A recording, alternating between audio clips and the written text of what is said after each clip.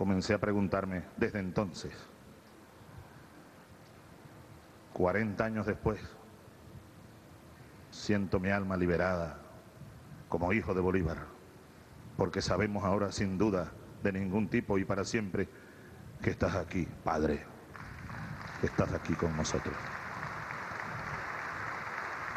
No hay ninguna duda. Eres tú